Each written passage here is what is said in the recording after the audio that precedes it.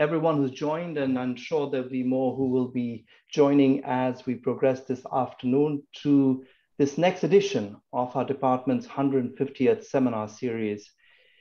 This seminar is titled Reimagining Mental Health Care, the Legacy of Paul Farmer. I'd like to start with some preliminary remarks before I introduce what we plan uh, for this seminar and also then introduce my fellow panelists. The world is experiencing a mental health crisis, and I think all of you are very familiar with the nature of that crisis. This crisis disproportionately affects those who are already on the margins of society, from low income groups and LGBTQ persons to those who have been exposed to the traumas of war and intimate partner violence.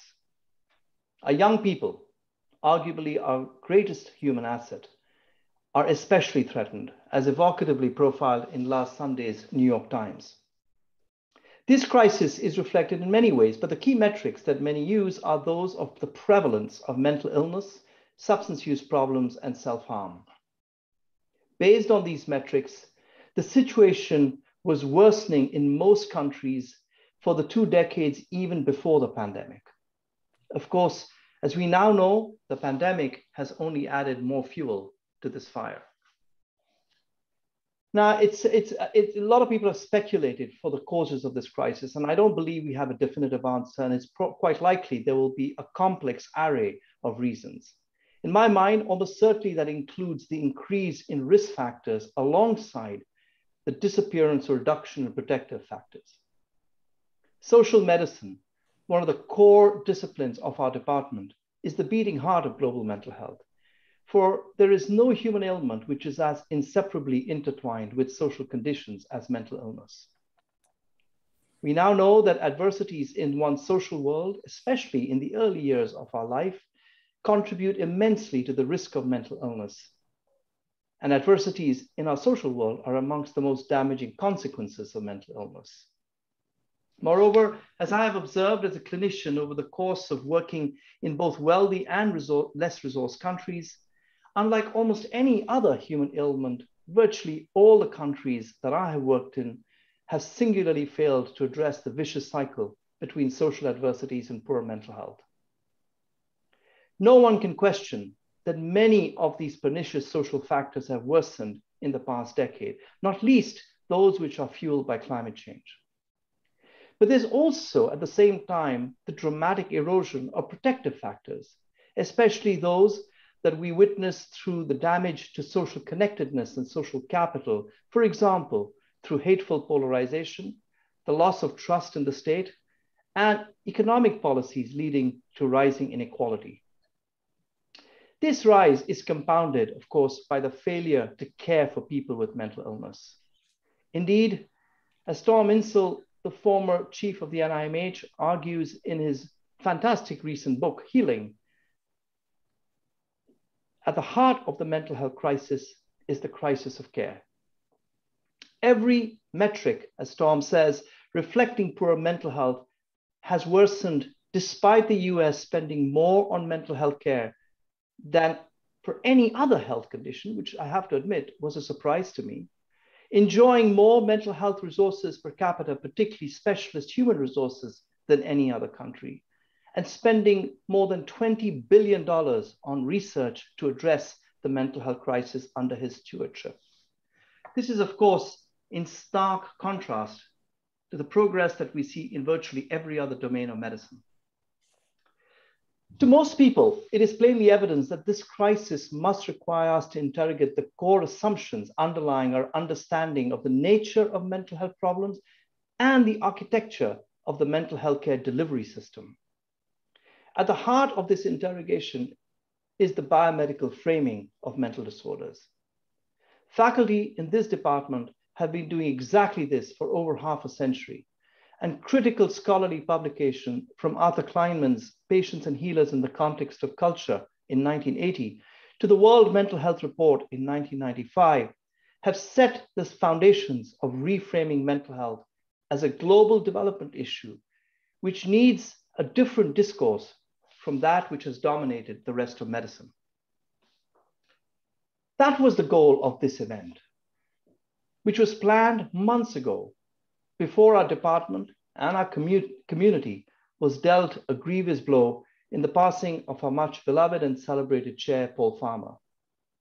My panelists and I felt that today's conversations could be reframed by engaging in some of the ideas that Paul championed, by examining how we can address the challenge of mental health problems through the lens of these ideas. From his elaboration of structural violence as a key driver of poor health, to the unjust nature of the disparities in access to quality healthcare, which affected those who were already disadvantaged and shorn of power and agency. Some years ago, I have one memorable writing, co-writing uh, uh, experience with Paul when we wrote a piece in the Lancet on the moral foundations of global mental health care in the context of the egregious fact that people with severe mental disorders died 20 years earlier than others in their communities. And this is in wealthy countries. In less well-resourced countries, that life expectancy gap can be as much as 30 to 40 years. And this is, of course, not because these disorders are in and of themselves lethal conditions, but almost entirely because of a toxic combination of overwhelming social determinants and poor quality care. Paul also championed the role of privileged medical schools, such as ours, as platforms for social change and building capacity in less privileged institutions, and the need for a research mission to always be twinned with a commitment to build services. And above all, for actions aimed at prevention to always be accompanied by actions aimed at care. Indeed, he unstintingly argued for the idea that everyone, rich and poor, in power as well as those of the margins, were entitled to enjoy the entire benefits of the tremendous advances emerging from biomedical science. So friends, today I will engage in a conversation with five of my amazing colleagues, all faculty in our department, some of whom were Paul's mentors, and others who were his mentees, and all of whom who have worked closely with Paul for decades. Each of my colleagues will share an aspect of their work which exemplifies the central elements of our discussion today. How should we reimagine mental health care in ways which reflect the legacy of Paul Farmer's scholarship and his contributions to global health and social medicine? What I propose to do is that I will invite each of my colleagues to speak in turn. And after, all the, after the remarks from all the panelists, we will then open up for a discussion and invite you, the audience, to pose questions. Please use the Q&A box in your Zoom window, and I'll make sure I'll try and attend to as many of those questions as possible. So with that, I'd like to now turn to the first of our panelists and invite Arthur Kleinman to speak. Arthur, over to you. Thank you, Vikram. Well, it's a pleasure to be on this panel. And um, as the oldest panelist, I'll draw on my age to um, frame uh, how I see Paul in the context of global mental health. So what you should know is that in 1981, in the second letter that I received from Paul when he was a sophomore at Duke uh, University, um, he told informed me that he was going to Paris to work with Georges Devereux, a noted psychoanalyst, on cultural psychoanalysis. So Paul moved pretty far in the course of his career from his early interest in cultural psychoanalysis. And maybe I take as, as maybe my leading effect as a mentor was to drive him out of the mental health field into infectious diseases. Um, I think more seriously that what Paul represented for me and for the mental health field was the importance of beginning far outside the context of the hospital, the clinic, the asylum, even the home, to recognize the broad sources of social suffering and their consequences for mental health. I think that all of us share that awareness that um, uh, Paul's insistence that we looked at poverty, deep poverty, the grinding quality of poverty, at malnutrition, at the um, at lives bearing the burdens of infectious diseases, epidemics, um, uh, all the pressures and difficulties that made the poorest of the world so wretched as, um, as uh, uh, Paul himself recognized and his friends Fanon insisted. That's one of the effects I think that Paul uh, gave us. And you can see that in the, in the 1995 World Mental Health Report, which focused on um, things that were not at the time regarded as central to mental health, which had a more of a biomedical epidemiological figuring. So, for example, the insistence in the 1995 World Mental Health Report on the clustering, recognizing the clustering of violence, suicide, depression, substance abuse in uh, poor, violent inner city settings. And therefore, the recognition that no single mental health intervention was going to be able to be effective until social conditions were adequately addressed. Or Paul's um, insistence on scarcity, on scarcity, uh, that um, the scarcity model of public health was not how people should be treated around the world. That is, there was no scarcity if one pushed on governments and insisted that mental health be treated like any aspect, any other aspect of health. Um, accompaniment and the emphasis that we, I'm sure, will hear from Vikram himself on um, uh, local health workers working together with the families and with the mentally ill. But for me, actually, um, right now, it's a different uh, dimension that uh, Paul's influence uh, uh, uh, has its principal effect. I have a project right now in China called Social Technology for Global Aging and Elder Care. And in that project, we are trying to figure out ways that social focus and a um, and technological focus can come together to provide interventions that can assist people and families and communities with dementia. Um, Paul very much had in mind the idea that poor communities in Haiti, in Rwanda, in the United States, elsewhere in Africa, in Latin America, throughout the world, deserved high quality, but also, if necessary, high technology interventions.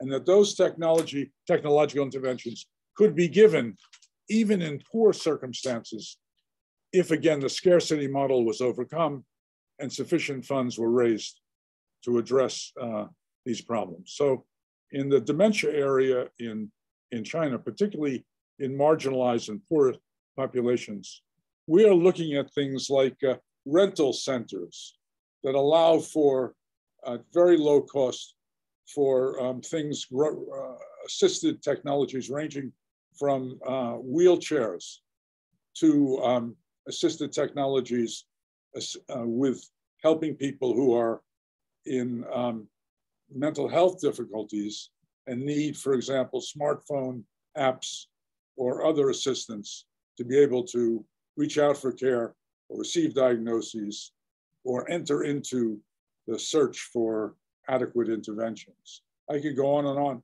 with my own examples, but the inspiration for this, the inspiration came from the fact that Paul, originally my student, became my mentor. More than a mentor, became my image of what a what a person should be and what a researcher should do. And I think that um, the fact that at the close of my life, I've emphasized uh, care, care for dementia, care for chronic illnesses, care for the elderly more broadly, and that care encompassing family care, self care, and community care. All of that recognizes the, the iconic significance of Paul as a model for helping others, for repairing the world, for doing good in the world. We're focusing on mental health, but we could have organized this panel way beyond mental health, as everyone knows, to the broad stream of health. Paul's willingness to see mental health as part of that was extremely important for all of us on this panel, and uh, and I think in the world, um, just as he did with cancer and chronic disorders more generally, to insist that global health was not just about infectious diseases, and that indeed infectious diseases might have some significance, the modeling of care there for uh, mental health. Thank you.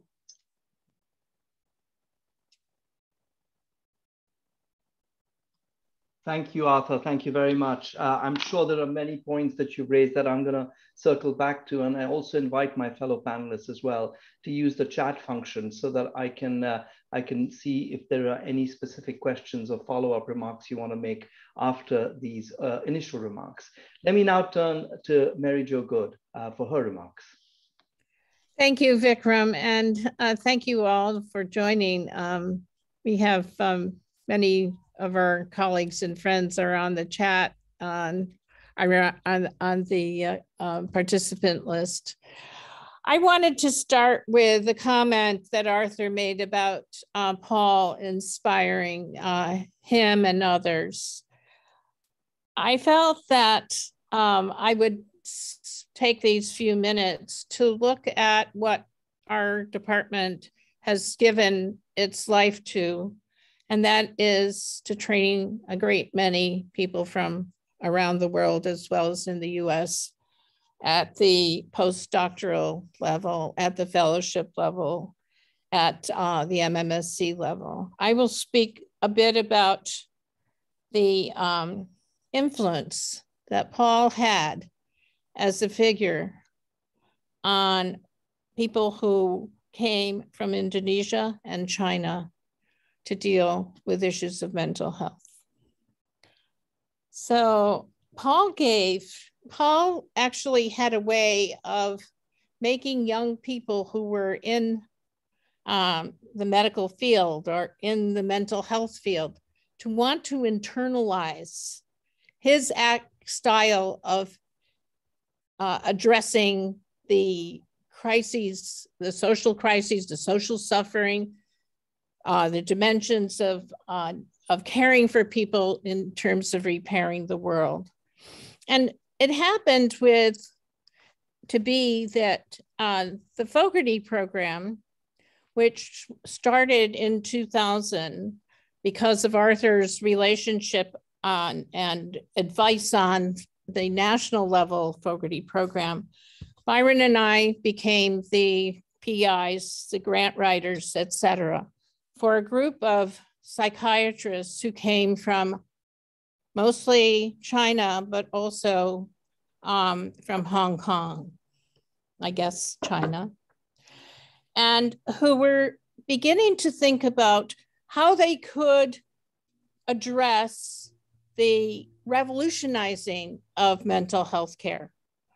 How could they aspire to a different kind of psychiatry and it came under a, one characteristic of these programs that got introduced in Hong Kong very early on when um, in 2000, when Irmansyah from Indonesia brought up the problem of freeing the mentally ill, freeing the mentally ill from their chains, freeing them from restraints, freeing them from the filth, filthy places in which they were kept by family members and others, providing mental health care that would be located in the community.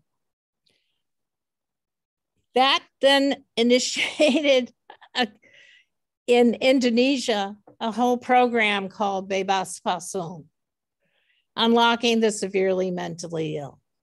It was a kind of revolution in thinking that came about in the early 2000s and led to the various uh, the various innovations in mental health care in both China and in Indonesia.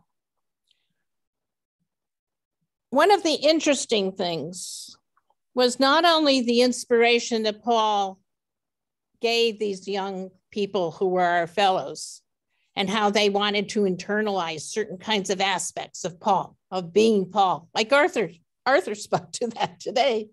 It's interesting of being Paul, of being Paul in mental health.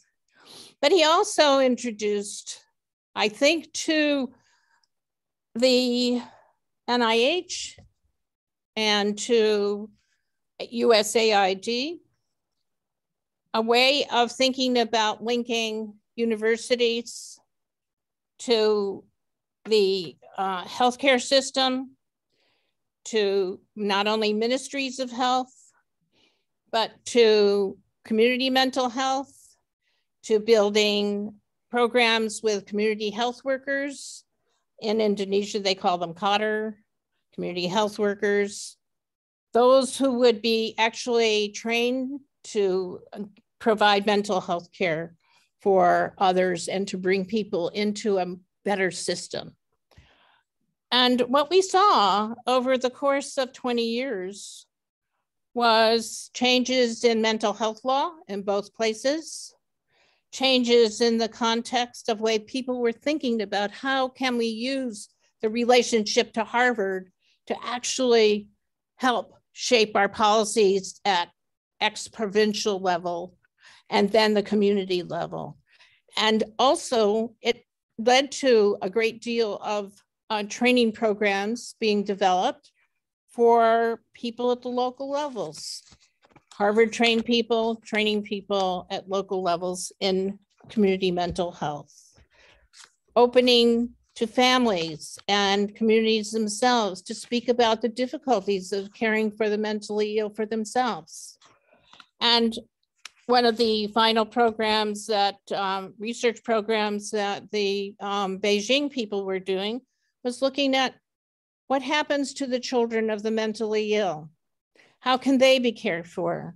So this kind of inspiration was also built on the virtuous cycle that Paul envisioned when he first, you know, spoke to us about trying to have PIH linked to our department, Harvard Medical School, and all of the, you know, other places that PIH worked in the world. They sort of, uh, the Brigham as well, the three pillar thing that went off to build um, the hospitals in Haiti and the hospitals and universities in Rwanda and the university that is coming up in Haiti as well as other things. So this is just a little bit of a sense of what that virtuous cycle has done in places like Indonesia and China.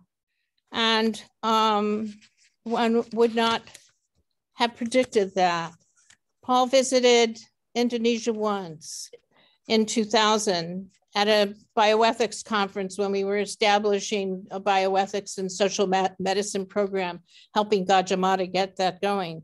He inspired people who were there um, with uh, to the point where the medical students put out an agenda, a manifesto, how they were going to revolutionize medical care for the poor and for those who were left behind and their, in their future and how they thought about training. And it would work because in China and Indonesia, you had robust primary care, community care, institutions. The Chinese ones like may have suffered, and Arthur can talk speak later to that. But the um, the Indonesian ones remain very strong, and they were good good uh, institutions to build these revolutions in uh, mental health care, right down to the village Kader, who maybe still are concerned that they don't want to have someone in their family marry someone who's ill, but they are not any longer afraid to care for the mentally ill. That's it. Thank, Thank you very much, uh, Mary Jo. Uh, I, I, think you, you brought up another very important component amongst many many of the things that you mentioned about Paul's legacy to to, to, uh, to complement what Arthur said, uh, not only his commitment to care, but also his commitment to education uh, and building capacity in institutions uh, in less resource parts of the world. And I'm sure we hear more about that later on as we think about his vision about the role of universities and particularly uh, the one that, the very privileged one that we're all members of. Let me now turn to Professor Byron Good, um, uh, who has also worked extensively in Indonesia and China and other parts of the world. Byron, the floor is yours. Thank you, Vikram, and uh, thank you, Arthur and Mary Jo, and look forward to hearing what Anne and Bepi also have to say.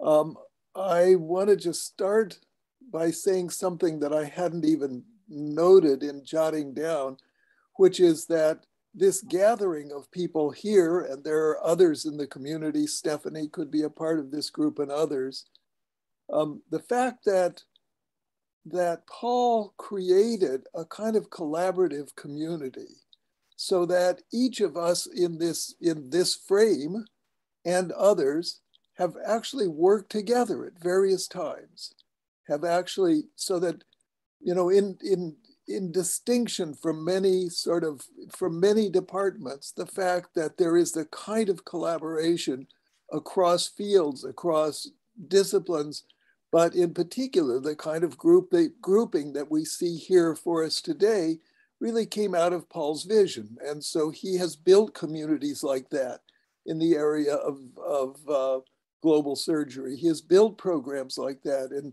in, in areas and always fostered the coming together and the collaboration. So as Mary Jo was talking about, um, was talking about the training programs, I think of Arthur's commitment from the very beginning to making training a part of this program and, and actually including Paul in that when he um, when we had the uh, uh, the uh, early programs of, of, of, the NIMH program. Um, his that Arthur, for instance, was was the person, the reason Mary Jo and I were the head, were the primary PI, was a PI on a Fogarty grant for China, of all things, was because Arthur was on the board that launched that, that made, that brought mental health into an area that had been previously focused almost exclusively on, on infectious diseases. And so this building of, of, of bringing people together was, a, was really a very special talent that makes this department feel very different than some other departments that uh, some of us belong to. And simply, um, you know, I think it, it, it, was a commitment on his part um, to do that. Now, let me just say a, a, couple of additional words about the, and, and so let me just say, I totally agree with what Mary Jo has said about Paul's, not only his commitment, but um, to commitment to training programs and bringing people to Harvard, knowing that it would benefit them from here and there around the world, and that included the China program.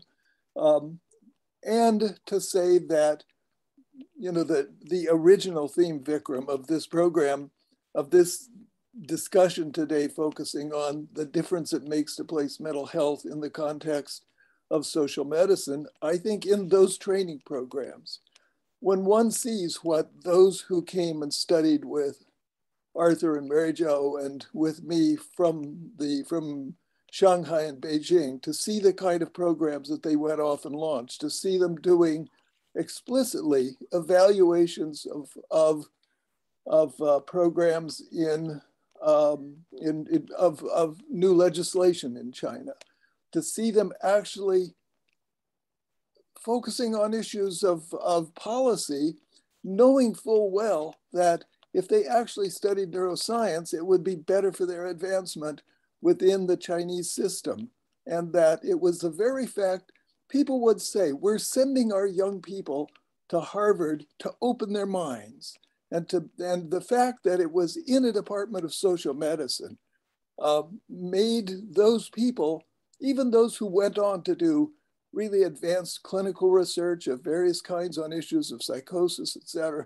But I think of all of the topics that, people worked on, on, on, on studying the problems of primary healthcare services and of depression in primary healthcare, in which they discovered it was almost entirely about elders, exactly the, the population Arthur is now working on. So I just think that embedding these training programs in a department of, of social medicine has had a, a quite profound influence on those persons, those individuals, and on the institutions um, that they lead. Now, Vikram mentioned um, Paul's deep commitment to linking of research with, with, with practice. And, you know, we've all heard at one time or another Paul say that he is not creating a department that's aimed at doing research and then hoping someone someday makes use of it, but that our task in a Department of Global Health and Social Medicine should be to take on the major global health problems um, of our time and both generate knowledge while doing so and also develop the kind of knowledge necessary for actually carrying those pro programs forward. And I think that has both influenced the whole community uh, represented in, in this meeting today, but for instance, in our own work. So I would say when, when Mary Jo and I first started going on an intensive way to Indonesia, and I started doing research in particular on psychotic illness, I was very interested in documenting what was going on. And then after some years of that, um, we got, uh, we were called to Aceh in a sense that in that there was the great tsunami that killed 300,000 people along the coast of one of the small provinces of, uh, of Indonesia on the northern tip of the island of Sumatra. But of course, when we arrived there, we found what we knew at some level, but did not know deeply, which is that that was a, a, a province that was deeply engaged in a civil war. And that the, the International Organization for Migration basically said to us, look, the tsunami money will be like a tsunami. It will come, it will rise up and it'll disappear. But taking on the issues of the long-term effects of conflict in this society is also a commitment of IOM, and they invited us to join in that process. And we did that we did that under their auspices in which they asked us to um, exam to to um, to develop a program of a, a, psychosocial needs assessment, do it in a kind of formal epidemiological way, which we did. And I think at the end of it, having written some very important documents for IOM, that, that really showed just the level of violence. So for instance, we were the first people in this research to say that in high, high conflict areas, up to 80% of people had to flee their home. 80% of the adults had to flee their homes at some time because of, because of, the, because of the violence. That 25% of men reported having been tortured. That 40% of adults told us that someone in their family had died, and that 8% of women had husbands who were killed in that violence. Now, that took us to the very heart of what is social medicine, of course. It was also took us to the heart of like really dealing with the human nature of violence and the, and the capability of organized violence of the kind. And then at the end of it, I think IOM was ready to say, now we've done our job. And our response was, you have absolutely done not a damn thing except to document. And those persons who have told their stories to us deserve to receive care. And so I remember having screaming fights with IOM types saying, we have to respond to this. We are not simply going to have documented this. And I think that also came out of the, really the inspiration of Paul's work. And at the end of that project, we went back to Jogjakarta, which is where we work mostly, and said, our having now documented what the what the experience of being a psychotic person is like in the context of, of Javanese families, et cetera, and those who have been displaced are, uh, and are on the streets is also not enough. And so we were able to uh, bring in money from, uh, from a USAID program to begin really focusing attention on building mental health services and to asking with particular focus on psychotic illness, how can one in a very low resource setting develop recovery oriented mental health care? And that's been our commitment now really for, for the last uh, 12 years or so. And so we, it's work that we continue to do and that much of which is now being done by the young psychiatrists and psychologists with whom we've worked um, over those years. So I would just say that Paul's not only inspiration, but Paul's in a way giving permission to do what we all knew and all know is the right thing to be doing, to not being simply um, exclusively flow focused on what kind of what kind of NIH grants that we can get to do this or that, but to actually going and doing the work that needs to be to be done, and his supporting of us uh, to to do those activities, I think, has has really been, um, and you know, a, a, a has has supported us in what we've come to feel is the most important things that we do. And I would just say that that Paul's commitment to, to developing the MMSC program, and I haven't looked at the participant list, but I'm sure many of our of our MMSC uh, fellows and students have um, are, are listening into this was a deep commitment of Paul's. It was one of his deepest commitments to build this program and to build it in the kind of multidisciplinary social medicine based um, way that that he perceived the world. And uh, i would just say that's another part of his legacy that we're quite committed uh, to carrying forward. So i think that's enough for me for this moment vikram and thank you very much. Thank you very much byron. Um, you know, building on what we heard uh, from Mary Jo uh, and providing perhaps a more, uh, you know, more specific example of Paul's commitment to ensuring that we don't land up just doing research, but actually move the agenda towards um, practice that actually addresses some of the structural violence that is associated with mental health problems.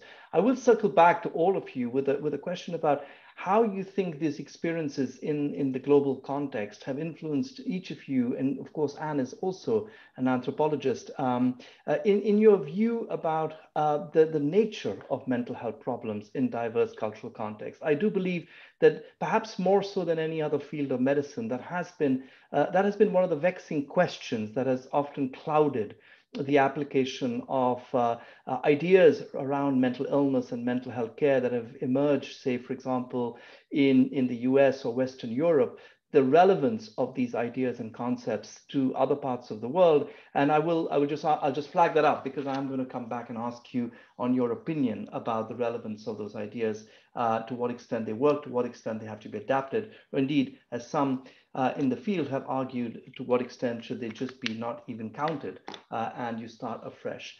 But Anne, I want to now invite you, uh, the, the, the, next generation, as it were. Uh, I think uh, it would be fair to say that Byron, Arthur, and Mary Jo would have been Arthur's mentors. Uh, and probably fair to say, Anne, that you were probably one of his mentees and colleagues for many decades. So I'd invite, I'd like to invite Professor Anne Becker, another member of our faculty, to speak about her experiences. Well, um, thank you very much, Vikram. And yes, I'm proud to call myself a both a colleague and mentee of Paul's. Um, uh, it's a great honor to say that. Um, so let me start by thanking you, Vikram, for organizing this symposium and organizing us around um, this topic and also say what an honor and pleasure it is to join my colleagues to speak to reimagining global mental health today. And I think, like my colleagues, I'm especially grateful for another opportunity to reflect on the astonishing legacy of our beloved colleague and mentor, Paul Farmer, and think together about how his intellectual imprimatur and example have influenced our work and the field of global mental health.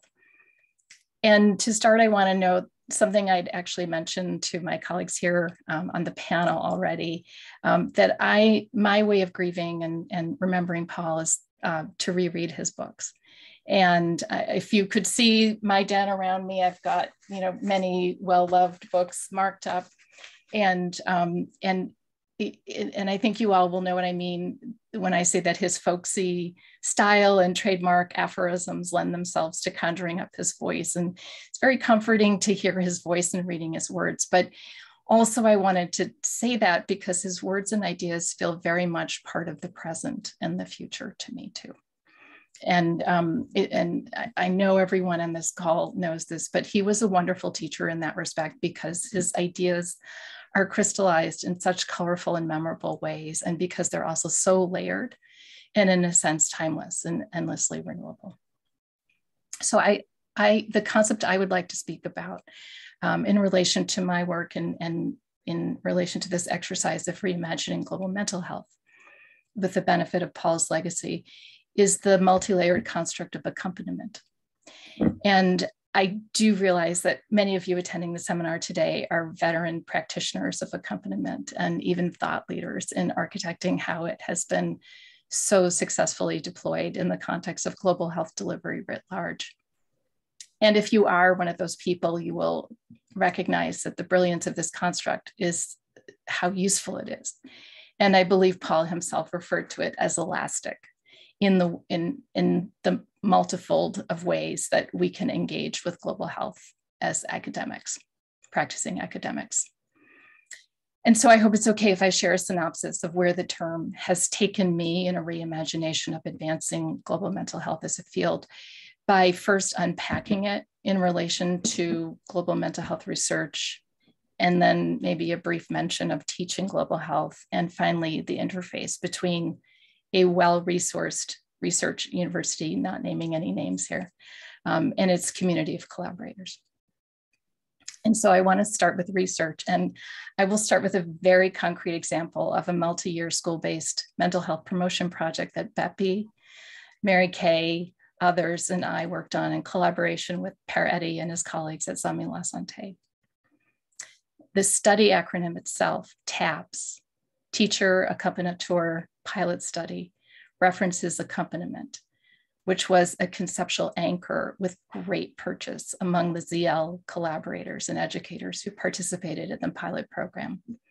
And this was all done circa 2010 after the devastating earthquake just outside Port-au-Prince. And we thought, you know, what better way to um, sort of be in the moment of the rising visibility of mental health needs in the area, then build on the successful PIH model of extending care into the community with community health workers, locally known as accompagnateurs. And this, in some ways, was quite obvious that why we would go to schools and why we would engage teachers. The teachers had the professional skills in place to work with young people. They were invested in their well being and they had an unparalleled front row seat and longitudinal view as to whether or not they were thriving. And so this program, I'm not going to get into any more details. It worked well enough. The students who were identified as suffering with symptoms, but who had never accessed care were reached for the first time. So in many ways, that in and of itself was a success. But I want to focus instead on the shortcomings. Uh, because that's where I received a large dose of education about what accompaniment is and what it should mean. And um, I will, so I'll go straight to the very end of the study when we debriefed the teacher accompagnateurs, the educators on their role. And I should say to Byron's point, in our in the very first focus group we did before this study, the teachers we interviewed said, you know, it's fine if you want to do this research, but can we just jump ahead to action? So they had very little patience for spending a long time with the research. I think that's an important tension we all feel. And they weren't wrong. So um, what we learned through the focus groups and over the process of conducting the study is that our initial framing of accompaniment, meaning what had been in the grant proposal, had not been nearly ambitious enough. And we had located it solely within the educator participant scope of engagement. We were thinking about mental health needs. That was all we thought about. And so the teachers began by critiquing this as being, you know, too clinically focused, too narrow, and really helped us understand that the lived experience was far more complex. And obviously to, to them and, and eventually to us, and probably already to most of you, is that it, this was compounded by extreme poverty. And there is, Vikram has already talked about the vicious cycle that the social adversities that these students lived with couldn't be disentangled from their mental health issues and really required a broader set of solutions than we'd imagined. And I just want to quote an excerpt from one of the teachers who said, look, um, you, the, the student comes to school without eating anything. And it is from what I have in my pocket, from what I give him sometimes. This is a series, these are a series of problems that will prevent the work, meaning our work, from being efficient. Another said, a hungry belly has no ear. You can't begin to solve these problems without solving the most basic needs of poverty and hunger and other kinds of insecurity. So then the, the teachers moved on from um, to our failure to extend the accompaniment approach, uh, not just to the not just to the students, but also we failed to accompany the educators, those who were who were you know to whom we were shifting the tasks. It was a task shifting model. And in the kindest, most generous possible way, they offered a round critique of our approach to task sharing. How in the world could we arrive in, in a setting like Haiti and not realize that shifting tasks from the overworked health professionals to overworked educational professionals was not problematic? They said we needed to accompany the teachers. How could they do their job, beleaguered as they were, if we didn't help them? So they said, you know, we showed up with food, we fed the students lunch, and the students, when they followed up with the teachers were looking for lunch, but we hadn't provided those meals or those resources. So um, one of the teachers put it very well, saying, instead of knowledge to accompany a student, it's really important that we have other things, such as money. We say it clearly, money.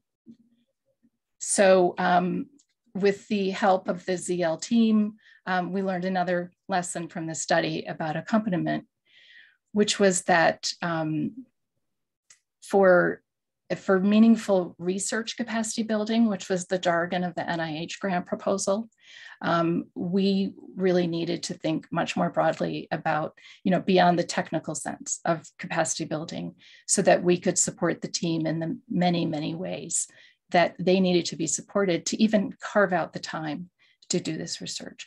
And that basically, in the shadow of extreme poverty and need, the research capacity building was probably too narrow a construct um, to be useful. So I, um, I could say a lot more uh, about this construct in research. I won't talk about teaching, but I think uh, many of you know that in his teaching, Paul very much adopted the accompaniment model of teaching, um, being you know sure to exercise um, uh, his his great aptitude for listening with humility uh, to the students and taking responsibility for seeing that students were successful. But I want to close my remarks by thinking about accompaniment as a principle and a practice and a set of values in the context of institutional engagement both in global mental health and specifically back to this theme of the means through which a well resourced research university can collaborate and support health equity and knowledge generation, knowledge generation and health equity, and also academic equity in communities in the global south.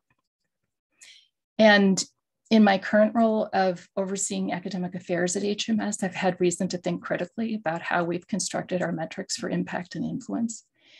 And I've been, I should thank people in the audience because they've influenced my thinking on this. And although the prevailing metrics for academia are in routine use and in many ways become have become naturalized as a valid mode of academic evaluation, we also know they're socially constructed. And if we know that, fortunately, we also know, we should know that here at one of the least leading academic institutions, you know, we're the construction crew and have the tools to rebuild a better set. So one of Paul's books that I went back to as part of my immersion in the Paul Farmer canon is In the Company of the Poor, a set of conversations and writings between Paul and Father Gustavo Gutierrez that delve into the principle of accompaniment and its roots in liberation theology. And as several of you have said, and as Paul taught us, accompaniment is a necessary tool in responding and dismantling the structural barriers to health and undoing the entrenchment of social inequities of all types, including academic inequities inherent to knowledge production, including in global mental health. And so I would like to close by asking how accompaniment can be useful in contemplating and reimagining the moral and pragmatic position a well-resourced research university, again, not naming any names, and its faculty can configure and commit to in their role and scope of engagement in global health research, training, and service. I raise this question not with an answer in mind, but because Paul would have asked it. He always did, and he would have insisted that the conversation continue. Thank you. Thank you, Anne. Uh, thank you very much. Uh, um, I, I, I want to I want to just move on to the last of our panelists, um, who um, has worked very closely with Paul, um, and particularly by by being the leader of the mental health group at uh, PIH. Um, uh, I was I was uh, uh, you know so impressed when I read I think last week in the New York Times about the tremendous work that PIH led in Sierra Leone. Um, and this, this, this reminded me of the remarks that Byron and, and Mary Jo uh, made about their work in Indonesia. I think, um, you, you know, they mentioned, you know, freeing people from their chains. And it struck me that there was a real parallel in two different parts of the world with the work that, you know, you and your colleagues were doing with uh, your colleagues in Sierra Leone and the Kissy uh, Mental Hospital. Uh, anyway, I'd like to invite you, uh, Bepi, now to, to, to share your experiences. Thank you, everyone. Thank you, Vikram. Such an honor to be here. And I'm waiting for Paul's commentary today and just want to say how much I miss him. And I'm going to speak about global mental health delivery. Um, you know, since the 1990s, when this department played a key role in contributing to um, the key development in global mental health at the time, the finding that psychiatric disorders constitute a huge burden of disease globally, and that mental disorders have significant impacts on disability. There's been this common thread of ongoing discourse between TB, HIV, and mental health care in the department and in our partnerships across institutions. Um, and there's been this agreement of the need to address these huge gaps through services, programs, and interventions that attend to the social as well as the clinical aspects of their source and impact. And, and of course, we've been discussing that today. And Paul did closely study mental health and the history of psychiatry in Haiti. As Arthur said, and he had a, a book chapter in 1992 called The Birth of the Clinic, The Cultural History of Haitian Professional Psychiatry, and w- the way he ended this chapter is consistent with what Arthur mentioned about structural violence and, and Paul's perspective. Um, Paul wrote that much remains to be done before the majority of Haitians with mental illness have access to psychiatric care. Even then, the contributions of such efforts may be negligible next to the forces that keep Haiti poor. These forces contribute to pathology of every description one of the people who encouraged me to write this chapter was a brilliant young woman, Marie Therese, from a poor family from the Central Plateau, diagnosed by psychiatrists at the Mars and Kline Hospital as having manic depressive disorder.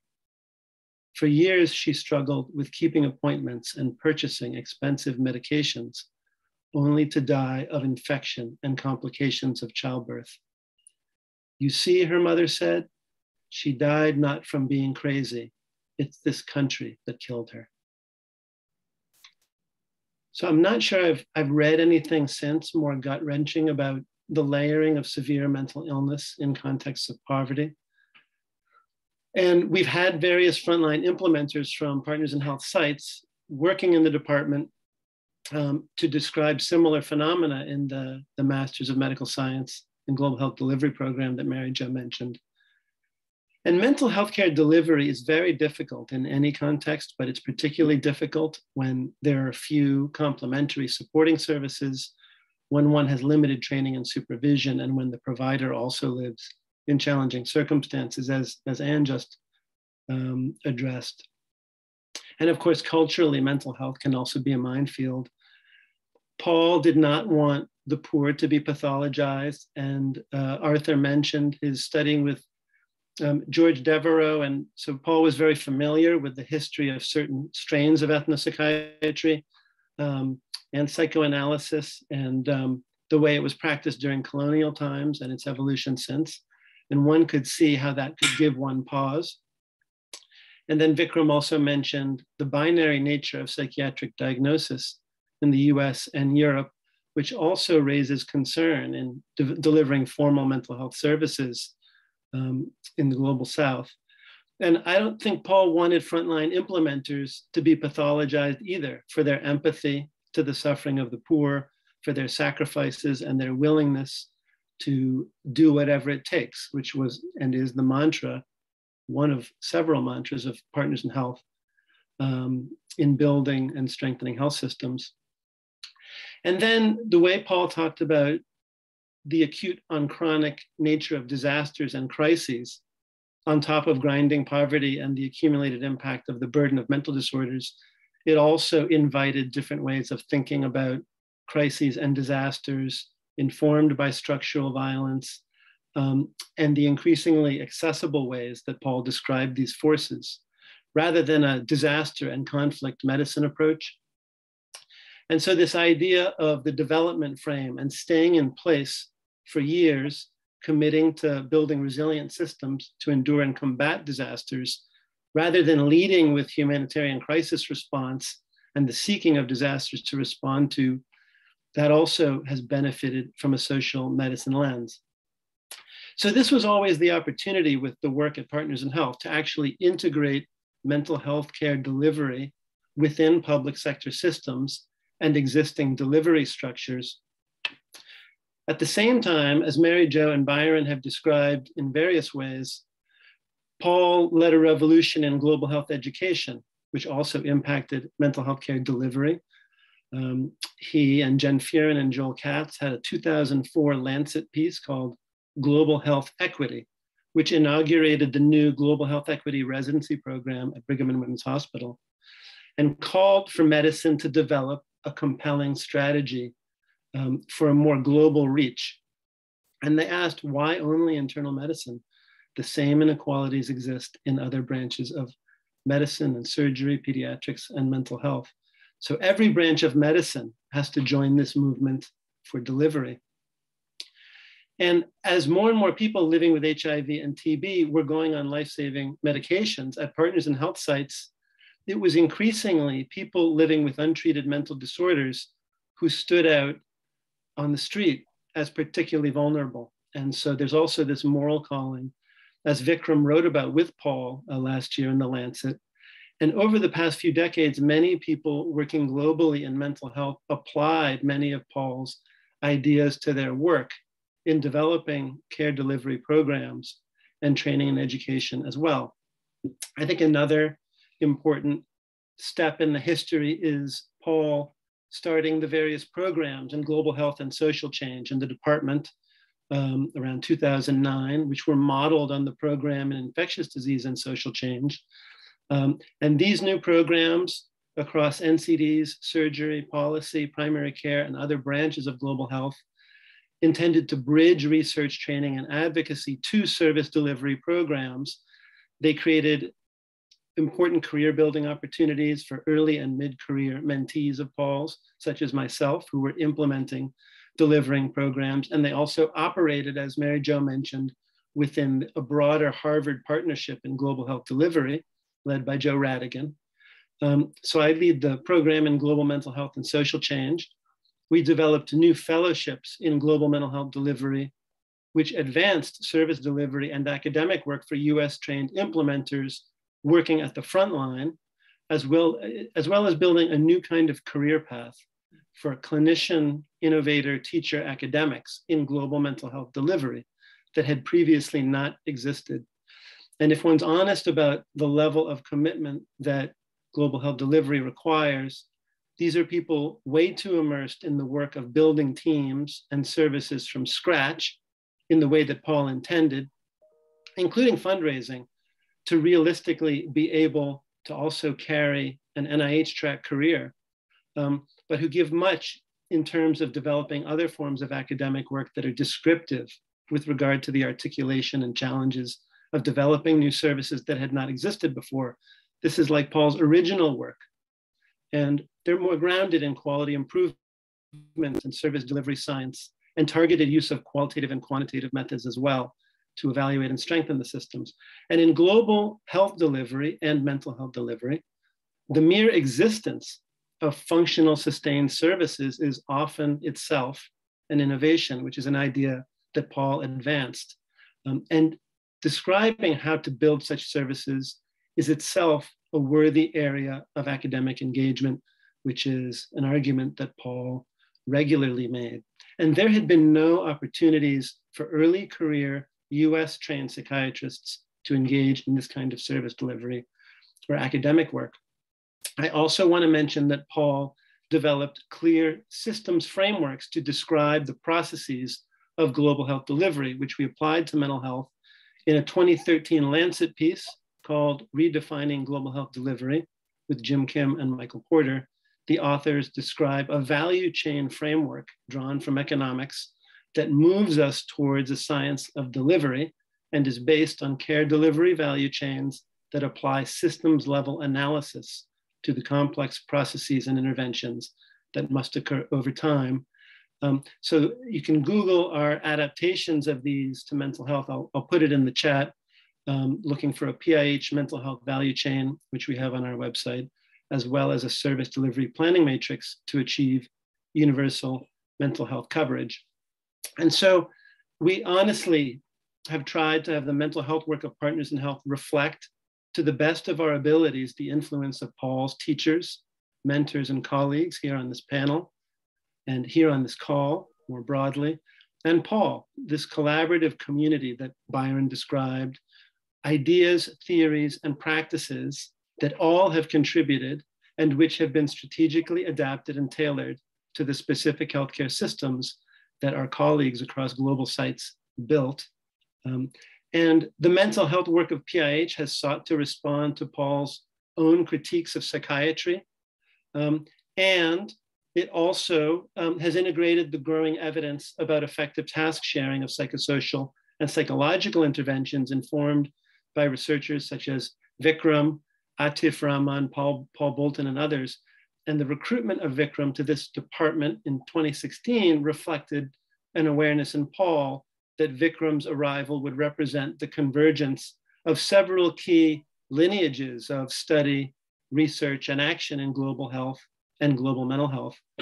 And the particular uniqueness of Partners in Health's mental health work and its origins in Paul's vision lies in its aspiration to be comprehensive, collaborative, and community based while attending to comorbidity and the complexity of illness in real world settings.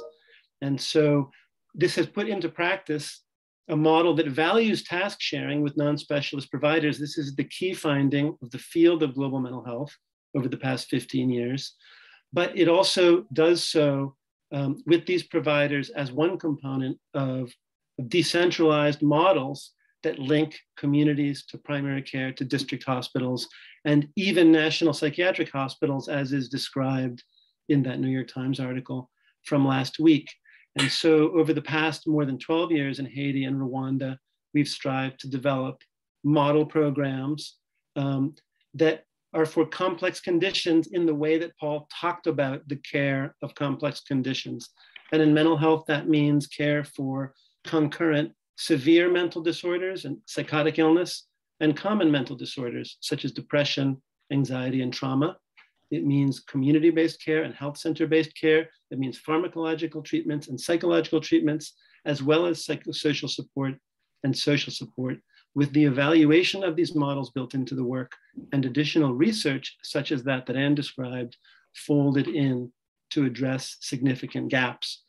Um, and so I, um, I'll just end, you know, there's a couple things I, I could say by giving you some practical examples of this synergy of service delivery and social medicine at the front line.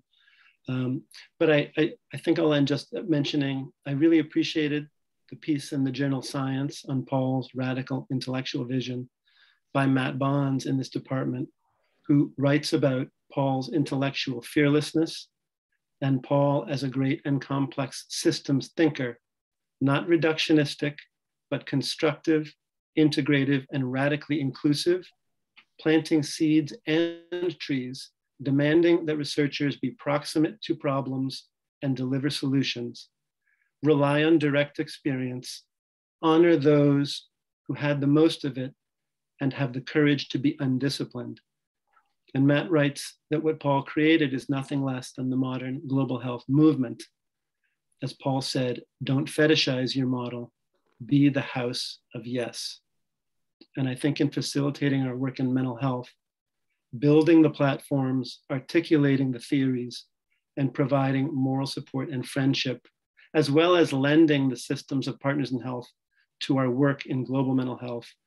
Paul has opened up new worlds in mental health care delivery that have yet to fully flourish.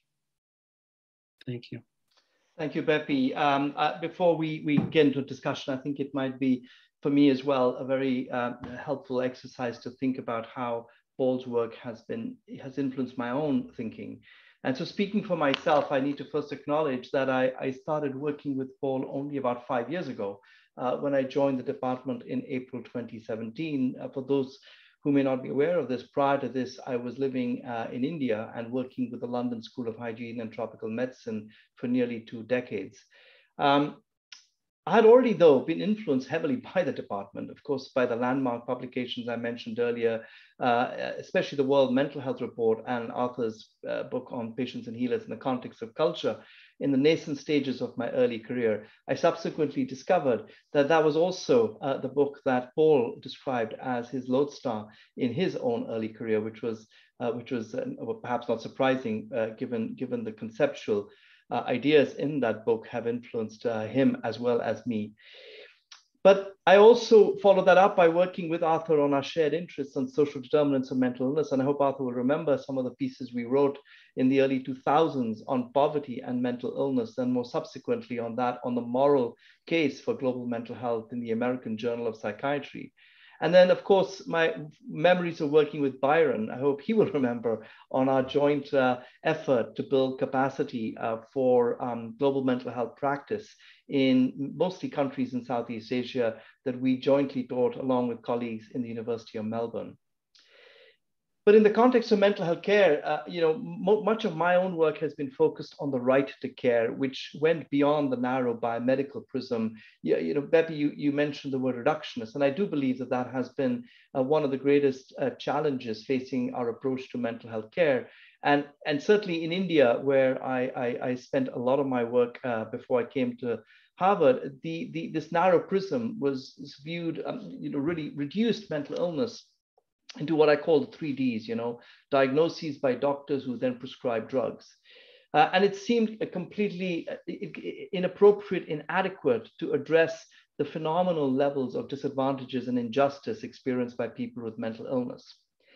So much of my work uh, before I came to Harvard, I, I, didn't even know about much of the work that uh, Paul and PIH were doing. So much of my work on leveraging community resources to deliver psychosocial interventions were really copying and imitating the work that other uh, pioneers in India and in parts of Africa were, were, were, using, which was essentially leveraging community resources to deliver essential healthcare interventions, for example, to reduce maternal and newborn mortality.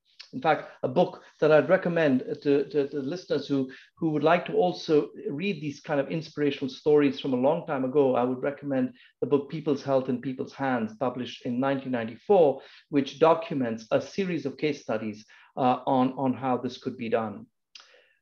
It is only more recently that I discovered this approach, now widely referred to as task sharing, uh, was also one that in parallel was being championed and developed by Partners in Health. And when I did discover this, I was especially captivated by Paul's framing of the role of the community health worker as accompanying. That, that is a word we've heard in many different ways today. Um, uh, but I, will come back to the different meanings of accompaniment that I've discovered listening to, to, to all of you on this panel. But in this context, it was accompanying a person with mental illness on their journey to recovery.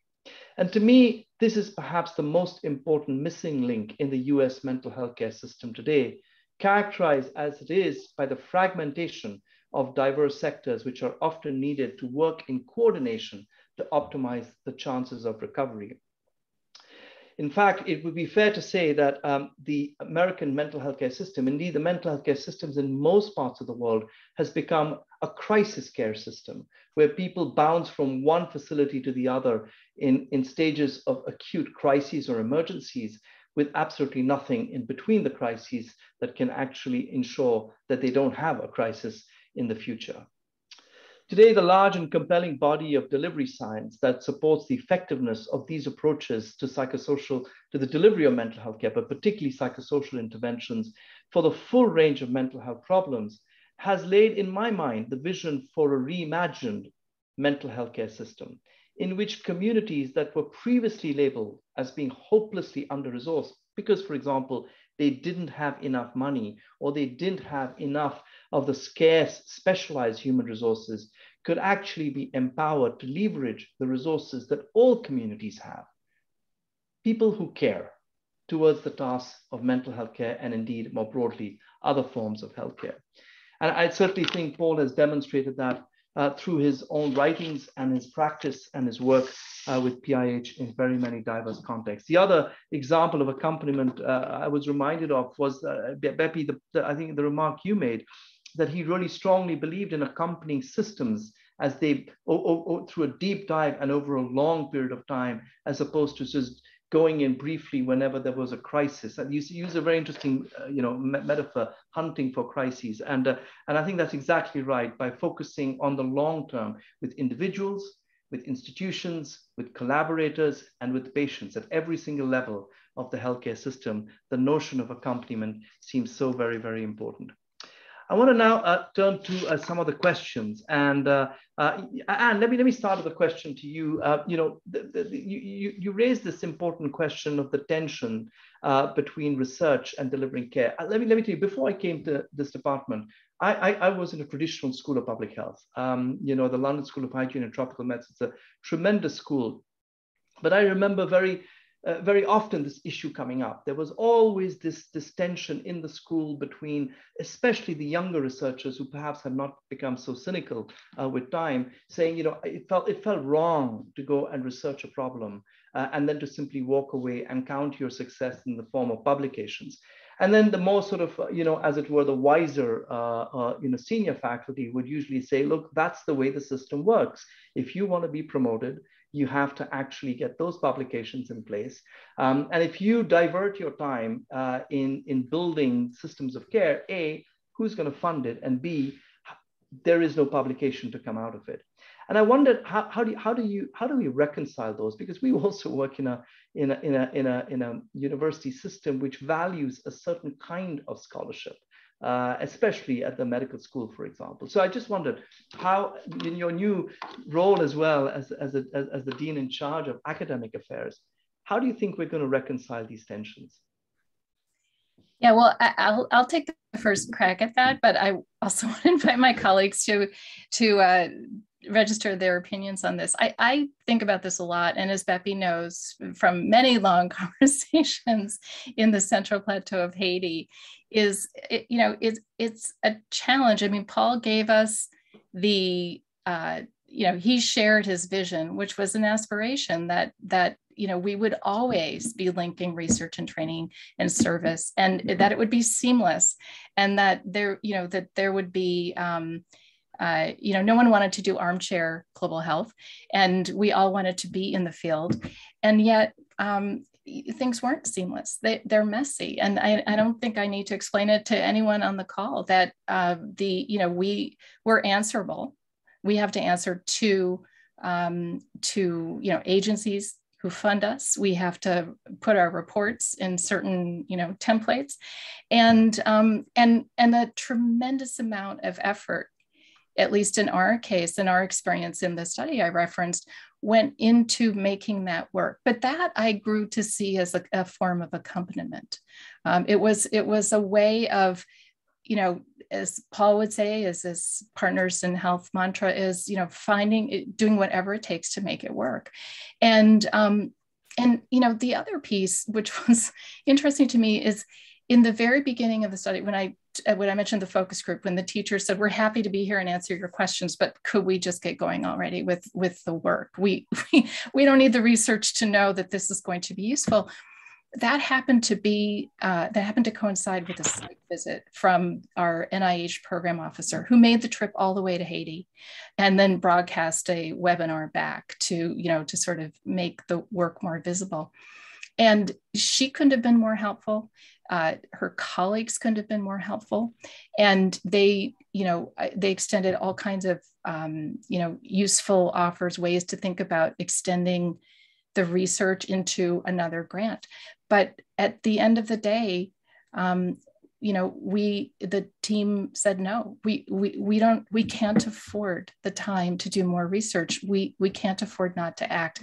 And you may want to tweak you know your intervention a little bit and refine it but we don't have that luxury and we're we're not going to do it. And you know i had to and, and and my colleagues had to ask ourselves the really hard question you know why are we in this business? We're not in this business to publish more papers or get nih grants. We're we're here to see that you know the work we do has value and meaning and and mitigates the suffering, it redresses it in some way. So that's not really an answer, Vikram, but that is part of the way um, I've come to live with attention and accept it.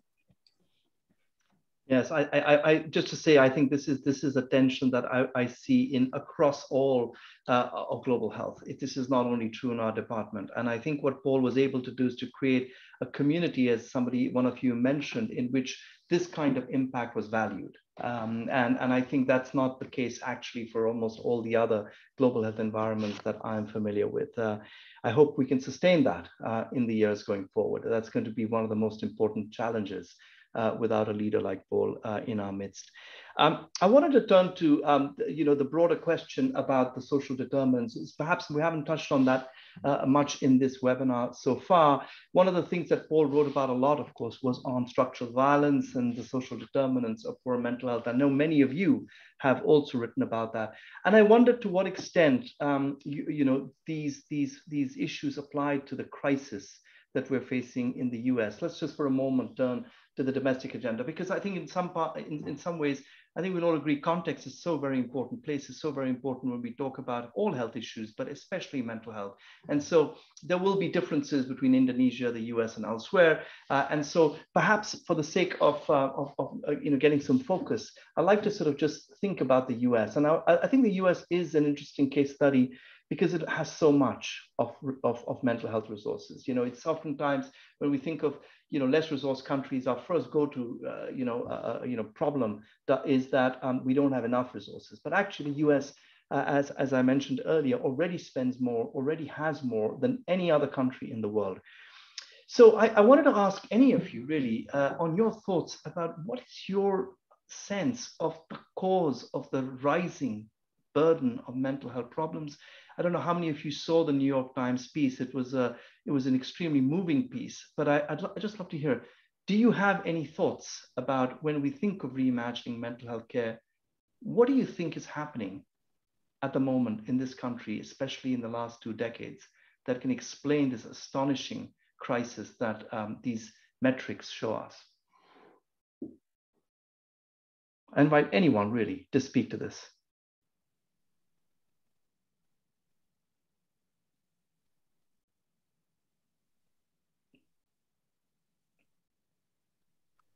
Well, it's in, interesting, Vikram. You talk to a group of people, none of whom work primarily in the American healthcare system um, at this moment. And that tells us something about this department. And mm-hmm. hopefully, we will have in our department in the future more people who work locally in Boston, et cetera.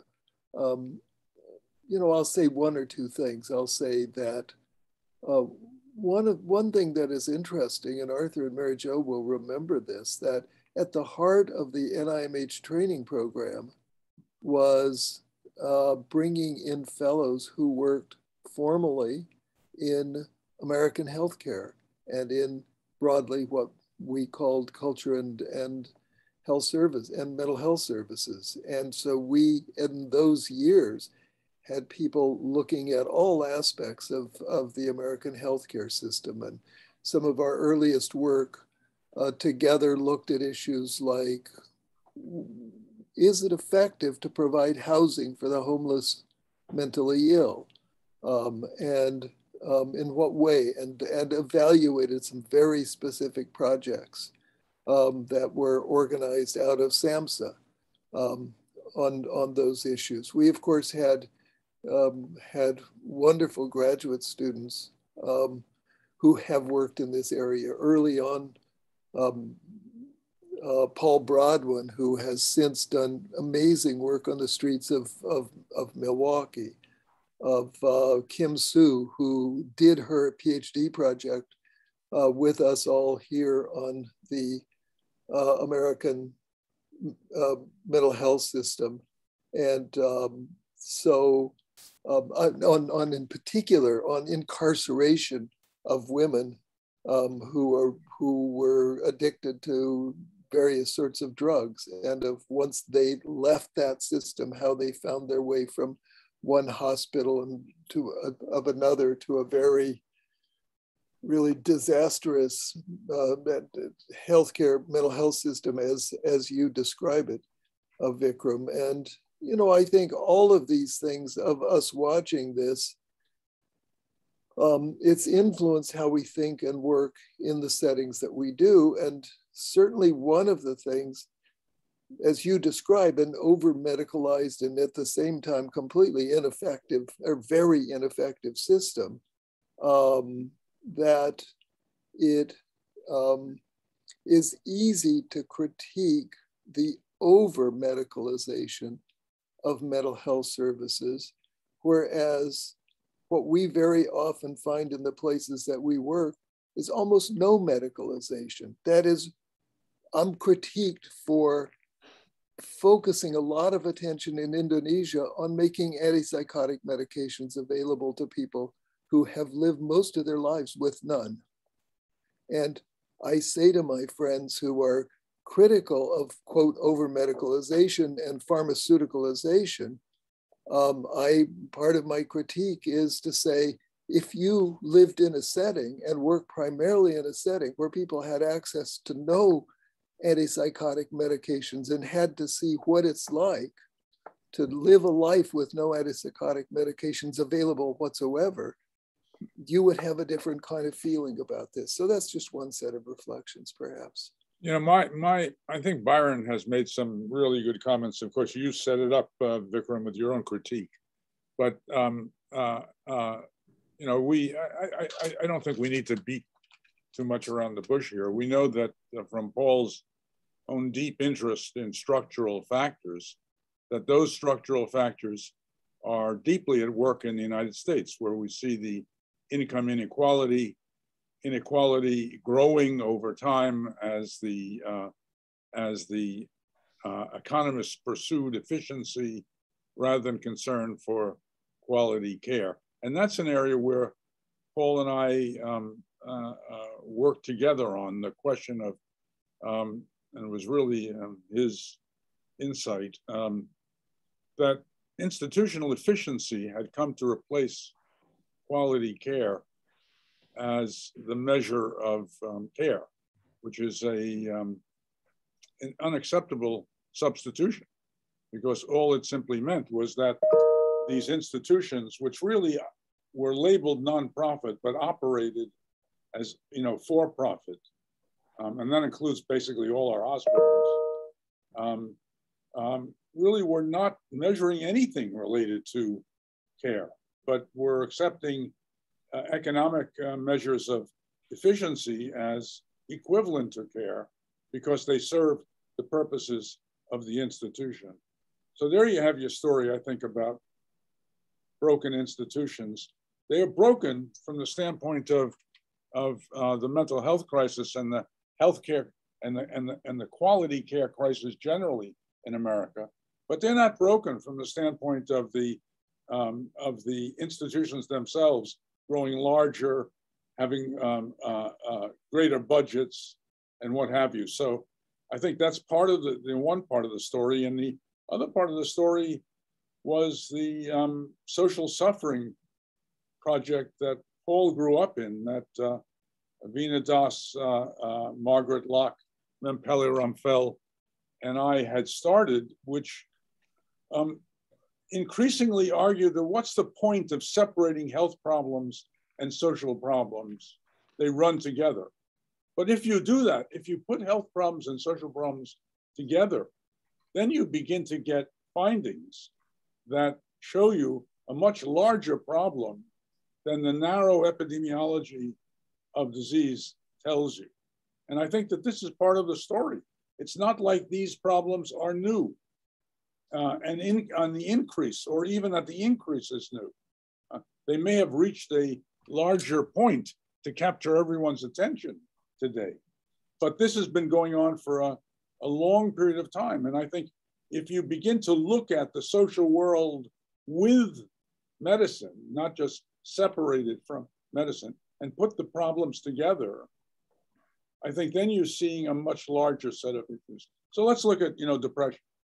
Now we work with uh, and uh, and all of us have used the global burden of disease data on depression to make the case of how important depression is in the world. But the point of fact is half of those depressions don't require medical interventions. They respond, they either spontaneously remit or they respond to changes in the social circumstances of people's lives. And if you look at the sources of many of those depressions, they are social sources.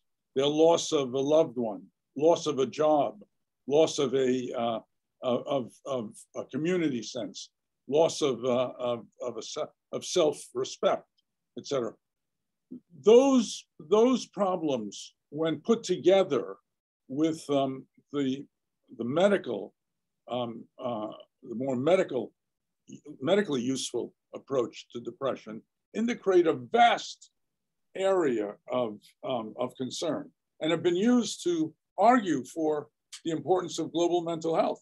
But actually, the argument is not just for global mental health; it's global social health is the is the is the big argument.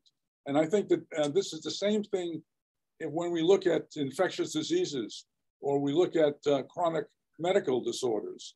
That um, and that's that was Paul's vision from the start was that inseparability of the social and the and the medical, denying neither one as important, both of them being important, but seeing them so interlocked, so interconnected that um, if you took the right view, you were aware that this area was more important in terms of security than the way that our society thinks of security.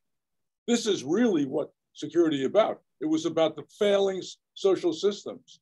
It was about the failure of educational systems, of the, the interaction of housing and health, and all the other things that make up the social world.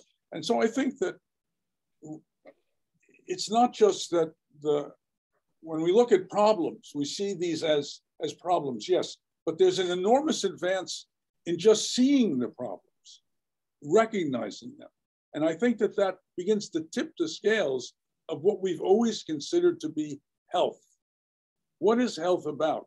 Where does health sit in priority in society? And I think this was central to Paul's vision that health was tied up so fundamentally with the social world that you had to both understand the, um, uh, the social causes of, of such problems, but also understand that if you're going to deal with these things, you were going to be way upstream uh, effectively. And he never lost, lost that vision that, and, and the astonishing thing for it, and I think again, we, you know, credit should go to Harvard Medical School for this. Uh, that when I um, uh, started in 1982, came back to Harvard Medical School in 1982, it was inconceivable that global health and, and, the, and the image of global health that Paul had would be at this part of what the, the school defined itself around.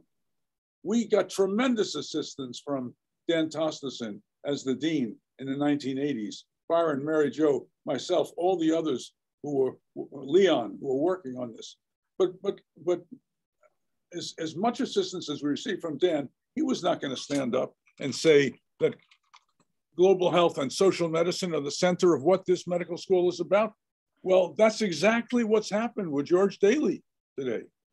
That's an incredible change, um, uh, you know, an enormous change. And, and, I, and it's not just happening at Harvard Medical School. I think this is the time we're living in. We're living in a revolutionary time. We might have not have revolutionary answers yet, but we have we understand the problems much more, um, much more fundamentally. And I think this is why we appreciate now just how vast the set of issues are. Thank you, Arthur. I know Mary Jo wanted to say something, to, I, I assume, to the same question. I'm sorry, my uh, computer just went blank, uh, so I came out to Byron's. Um, our what the NIMH group, of course, uh, Byron mentioned, you know, for 24 years, people are working on U.S. issues, and um, our last uh, production was um, politically uh, appropriate because it looked at issues of disparities and inequalities and of the um, problems, how problems were being solved by clinic, uh, clinical uh, psychiatry. And Anne was very helpful on that. And we had, uh, we came out with a book on shattering culture, looking at the culture of uh, medicine and how it, you know, could uh, be changed uh, to deal with um, disparities and inequalities in the delivery of mental health care and and actually train you know up and coming psychiatrists psychiatric residents and other clinical practitioners and uh, change the culture. And um, that to some extent was very well uh, supported by um, Mayor Menino, the state of Massachusetts, various places throughout the United States, in which there was a an, an, aggressive attempt to um, really changed what was going on in practice from a positive political sense. And I think that when you have people like Jimmy Carter, who under Jimmy Carter, you know, community mental health was something quite different than what happened under when Reagan came in and when um, you have a discourse of from the top, from the political top, addressing um, economic and uh, economic disparities as well as um, political disdain, I would say, uh, where you have um, you know people like Trump um, being at the top, you you have a have a decline, I think, in in what's going on. So we need to look beyond just the um, structure of NIH and you know neuroscience versus um, more of a social science perspective. Leon used to call the, the department the Department of Socialized Medicine, and the students would sometimes, the medical students would sometimes characterize Leon and Carola dancing across the floor in their shows. Um, you know, in the second year show and uh, celebrate the Department of Socialized Medicine. So from or you know socialist medicine, social socialist medicine or whatever, you know, the thing is it was always known as the left department. You know, ur- urging people to focus and on reject, re, you know, addressing the problems of um, you know uh, poor society, you know, um, the poor in our, our society, so, or the marginalized. And uh, so that the ideology, certainly when we came here in 1982, um, was, was definitely one that uh, wanted to focus on the, the issues that, uh, that Paul later globalized. Although everybody who came to, almost everybody who came to the, as anthropologists who came to the NIMH program had done work abroad. So they were already in the global, you know, thinking more globally as we were. You know, all of us, uh, you know, in the department had these experiences that were not just US based. So I want to just follow up, uh, you know, as we come to the end, I want to circle back to the theme of this, uh, this, this webinar, which is reimagining mental health care. We are all, all of us currently on US soil. And I, I do think that the, the, you know, the, the question for our department going forward is not just what we can do, I think, for global health delivery in other countries, but honestly, I'm a new arrival in this country, and I often think uh, that this country is developing when it comes to mental health. I think the, the signs are all over the streets of our big cities, uh, the prison population. I don't have to repeat the metrics. Everyone knows um, the, the state of the situation. So I'm going to ask each of you, what have you learned from your work in the global south and other parts of the world that possibly might bear relevance to how the US might in fact re-engineer its mental health care system.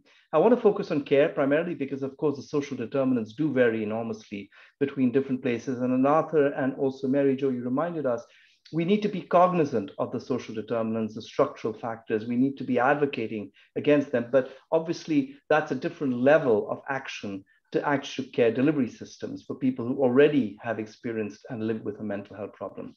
So I wondered whether, uh, you know, or, this is a question to each of you, and, and you know, this is the question that's often asked to me: What what have you learned in India uh, or in sub-Saharan Africa that has any bearing on how mental health care in the US could potentially uh, be, be, be, be, be organized or, or, or, transformed. And I will speak to that point. It's certainly come up in a number of the questions that have been posed to the panel. So I'd really like to end today's seminar with each of you offering your thoughts on that. Um, I don't know if there's any particular order. If someone's ready to go, then I'd love to see a hand, but otherwise uh, I'll just pick someone. Anne, you look very eager there. Let me ask you first. I'm eager to hear from my colleagues. Uh, but this is a great question, and um, and I will say that um, you know it, it, I I do practice here in the U.S. healthcare system. So as you ask that question, I my my thoughts has have been very active in thinking about um, you know resonating with some of the themes brought up here and and all the things that are quite broken with the system. But that doesn't mean that um, I'm going to lapse into cynicism, uh, you know, anything but. And and I think you've you've suggested, you know, uh, very appropriately that we think about our experiences in the global South and and bring back and borrow what works. And and for starters. Um, we've talked, we've heard from our colleagues a little bit about the corporatization of American medicine and how the healthcare delivery system is really optimized for efficiency, and that indeed has become the, the you know the clear value, not just the norm. And um, and and I think you know everybody has heard an earful about the electronic health record and how that's optimized to, to capture billing, right? So it's billing and efficiency. It's all about um, you know extracting value, and it, it is the it is literally the opposite of accompaniment. It is, it is the polar opposite of accompaniment. It is, it is basically not being present for a patient and for a patient or the community and all of the needs that present themselves as we've also heard as not you know neatly packaged as a healthcare diagnosis and and i will say that you know very few patients ps come with just one diagnosis right they come with a with a history and a package of health problems and social problems and family problems. And they don't want to hear, well, I'm just the doctor that deals with this and I'll write you a prescription and then, you know, you can go home and then drive through bad traffic again to another facility in another day. We're booking out about six months. I hope that's okay for your life.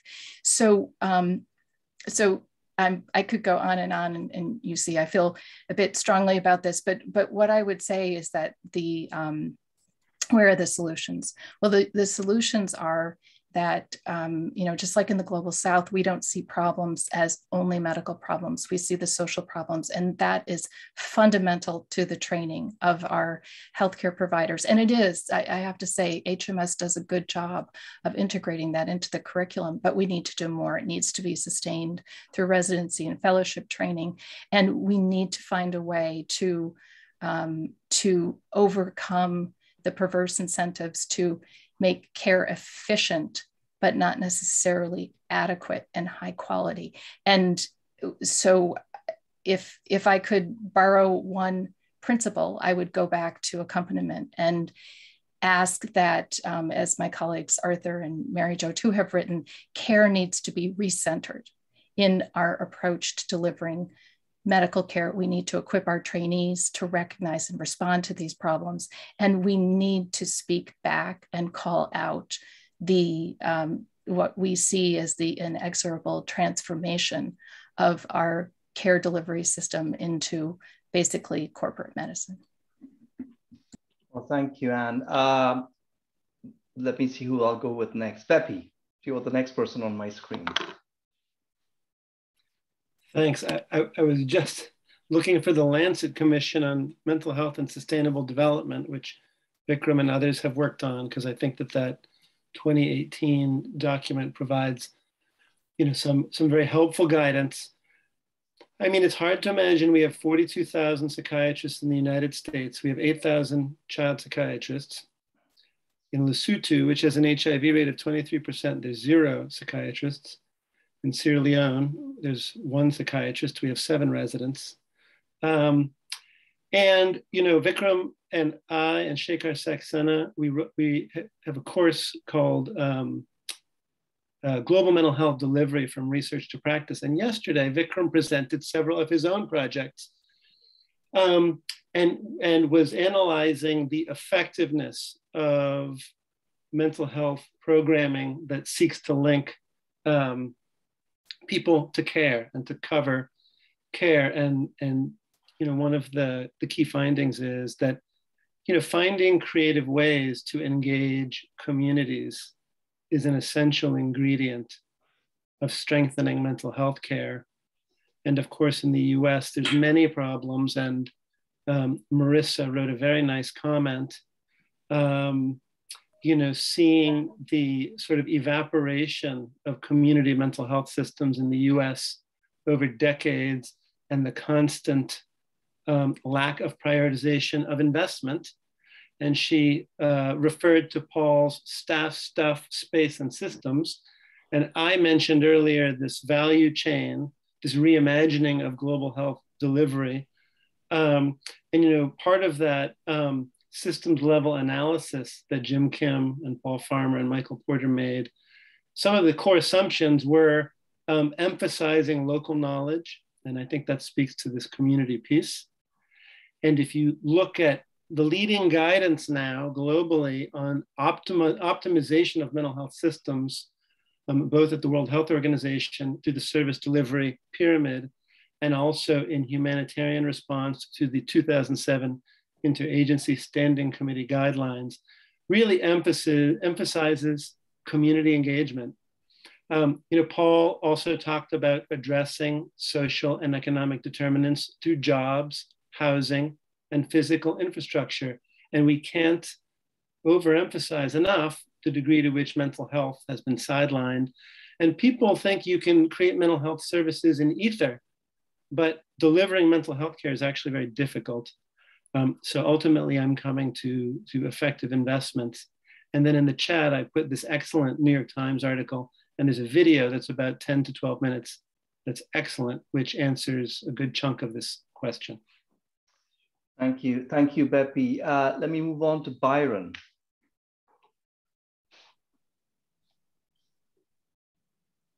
Byron, you describe a lot of your work with people with psychosis in Indonesia. We can't hear you, unfortunately. Okay, uh, here we are. Here we are.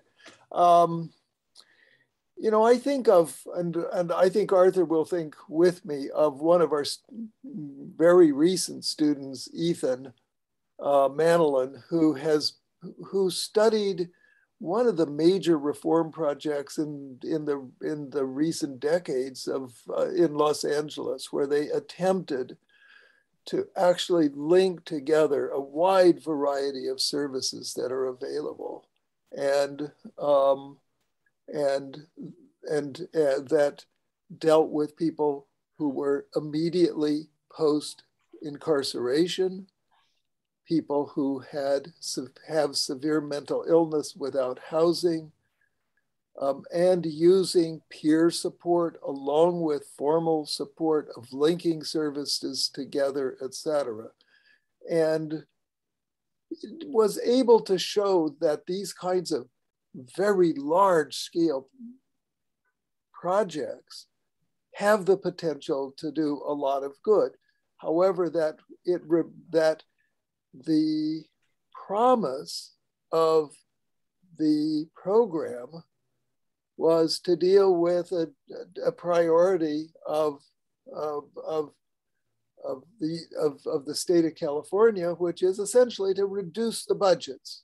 that is, I remember when Mary Jo and I first went to the Department of Psychiatry in the University of California, Davis, in 1976. It was during the Reagan era, in which the chair of Reagan, the department, Reagan, Reagan as, as governor, governor, Reagan, as governor, era in which the um, in which Don Langsley, then chair of the department, had come to build mental to build commu- a whole community mental health system.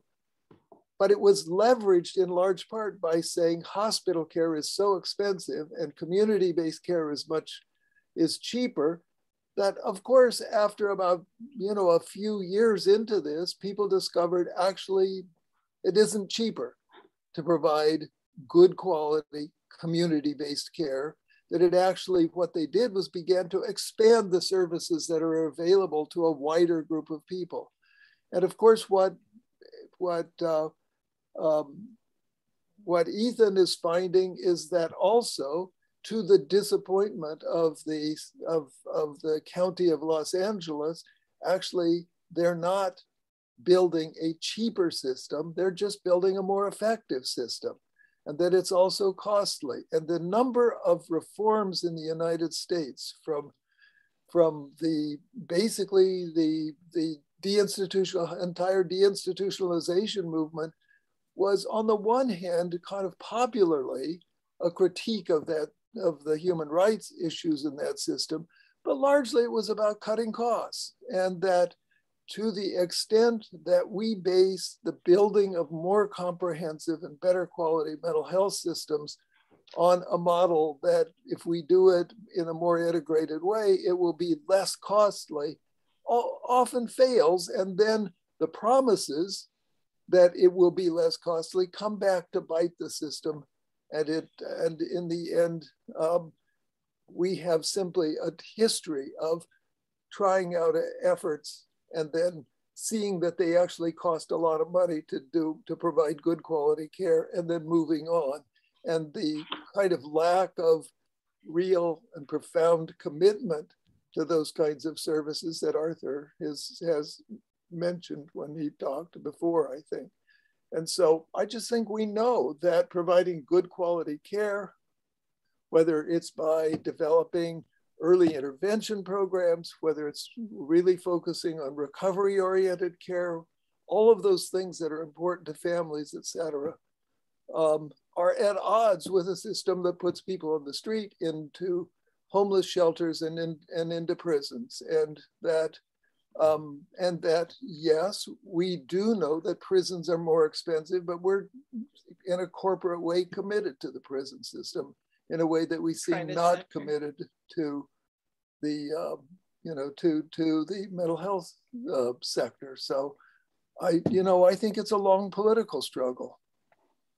Thank you, Byron. Mary Jo. I have uh, several thoughts um, that are not so systematic.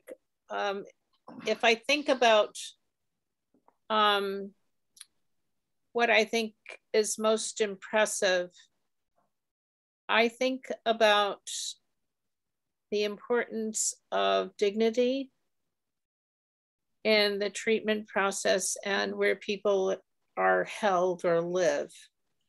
And so, housing that is not barred or restricted for time, where you can only go in at night, like shelters, um, something to do.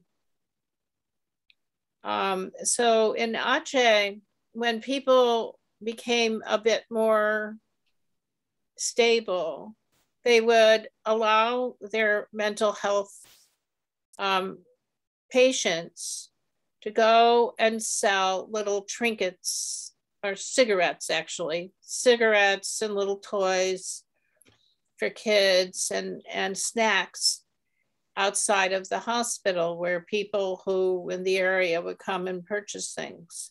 And it reminds me a great deal of what happened in Italy and the importance of having an open space where people are free to come and go, but also a, a place to stay, a task. And it, it always captured my imagination, but I never saw it in action. The idea of patients who were stabilized living in a setting in Italy, Northern Italy, and running a restaurant, which gives dignity and something to do that is worthwhile and valued and a certain amount of freedom and some money, the money pill. Um, and so I don't know. I this is a fantasy. I certainly didn't see great care in Indonesia. You know, no. Actually, people who had their patients at home did uh, who had gotten stabilized were doing pretty well, but family members were taking care of them and there was an extended family in many cases and people were really giving up a great deal of their own personal freedom to take care of their siblings or their spouses or their parents or the kids.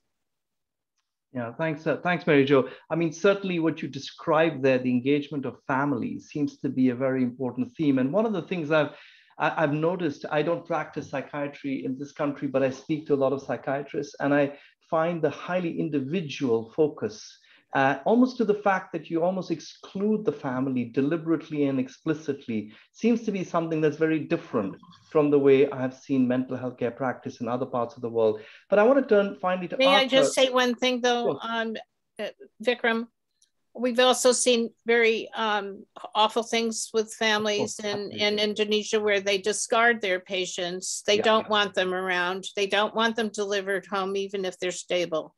And so, eh, you know, this is, you know, not a mixed story, of course, picture. but, I, but I'm yeah. thinking that at least there is an, a possibility to work with a family and then tailoring the family engagement according to how supportive they are. Whereas here, I think there is, seems to be almost, uh, uh, uh, you know, the, the starting point is that this is a problem of the individual and that individual is going to be the focus of all our care delivery process. Arthur, you've written very eloquently about the role of care, and uh, you know I'd love to hear from you your your both both your personal experience, but also what you've seen in China and elsewhere in your work globally. What are the lessons that you would like to see for reframing mental health care in the U.S.? Well, um, I think one thing that age brings is humility, and uh, I, I, I want to be very humble about this. But the first thing I would I learned was that the one great achievement of the Chinese Communist Party is that in 50 years, it raised 800 million people out of poverty. That is an unprecedented achievement in our world.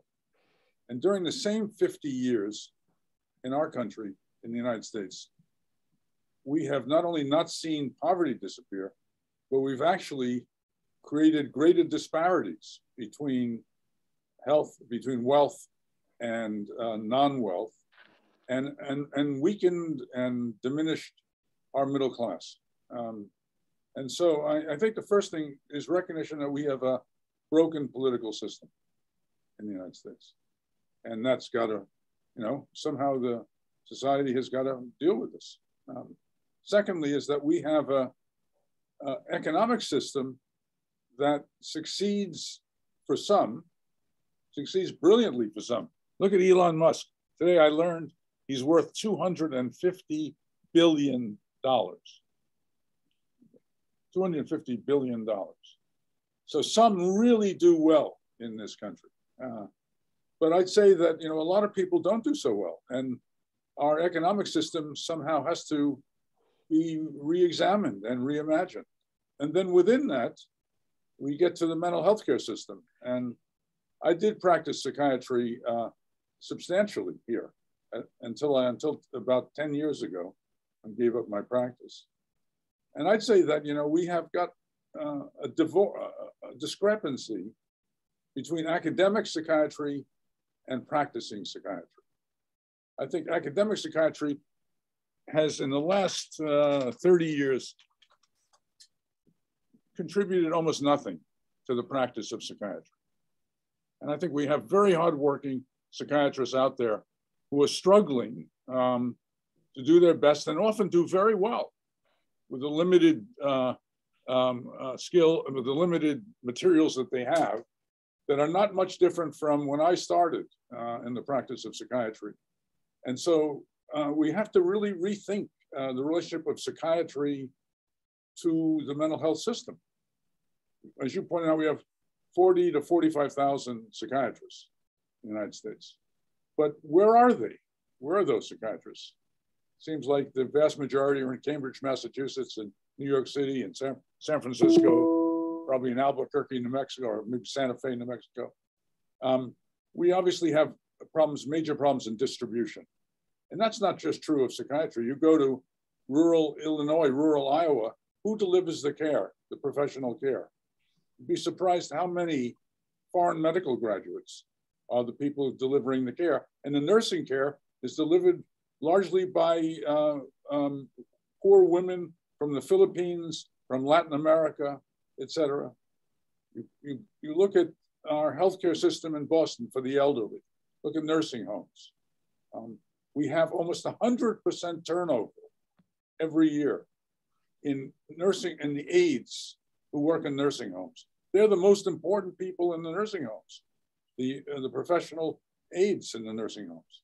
But the job is so backbreaking, the pay so poor, the status so low, that as soon as an alternative job comes up, they're, they're gone.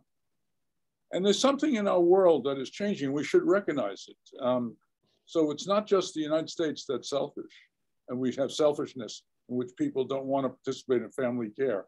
We, we have a lot of family care in America.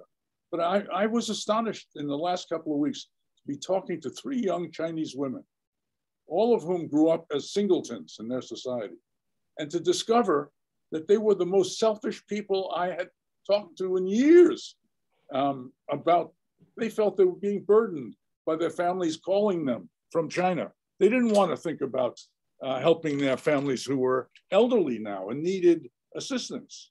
And I realized that much that I had written about and learned about relational self in Chinese society, the center, the centerpiece of the family, has changed. That same system that raised 800 million out of poverty has broken the family in the in the in the in the Chinese setting. So I think in the world today, we should reimagine mental health at different levels. I can reimagine it very clearly in a place like a medical school, and what kind of support can we give to um, mental health in the medical school, in the curriculum, in the training, same in the School of Public Health. But what about in the community? And what about in the positioning of psychiatrists, where they are, et cetera? What about in the academic enterprise? So I think that what you have done is to open the door, as you often do, Vikram, because you're such a revolutionary figure in the mental health field. you've opened the door to a set of questions that makes us realize that mental health is a great topic because it connects with almost everything in society and is inseparable from so much in our society. And so I feel that this is the right time to see the transfer of intelligence and uh, interest and practice to the generation of you and Anne and Bepi. And, you know, I can only imagine what will happen in the future. It's going to be a great future for reimagining and for, and for, and for the development of ideas. And once I retire, I will be reading everything I can to just see the great things that come forward from this department. And with, and when I, when, and I, I aspire, my great aspiration someday is to meet Paul in heaven. And when I meet Paul in heaven, I think we'll just smile and say, what a great department that really is. Well, here, here, and nothing more to be said. There can be no better way than to round off this seminar. Thank you, Arthur, for those wonderful words. And thank you, Anne, Bepi, Mary Jo, and Byron for this fantastic two hours that we spent together. It feels like a little soiree that we've had, reminiscing, thinking about our work, thinking about the future. What a terrific conversation. Thank you all so very much. Have a wonderful evening, all of you. Thank you, Vikram. Yep, thank you, Vikram. Thank you all. Thanks, Vikram, Arthur, Byron, Mary Joanne. Thank you. Bye-bye. Yeah.